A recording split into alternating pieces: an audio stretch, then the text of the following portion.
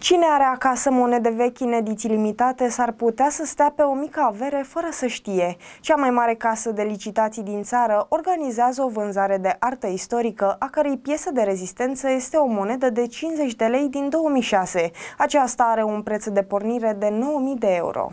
Moneda este piesa de rezistență la vânzarea de artă istorică organizată de cea mai mare casă de licitații din țară. Dacă ai acasă monede vechi în ediții limitate, ai putea face o mică avere din vânzarea uneia dintre ele. Este vorba de moneda de 50 de lei din 2006, care are un preț de pornire de 9000 de euro la vânzarea de artă istorică organizată de cea mai mare casă de licitații din țară. Această monedă este una specială și este considerată piesa de rezistență a licitației. Este făcută din aur și are un preț de pornire atât de mare pentru că tirajul a fost extrem de limitat, de doar 35 de piese. În cadrul acestei licitații de artă istorică, următoarea piesă de rezistență este tot o monedă, una din anul 1876, din argint.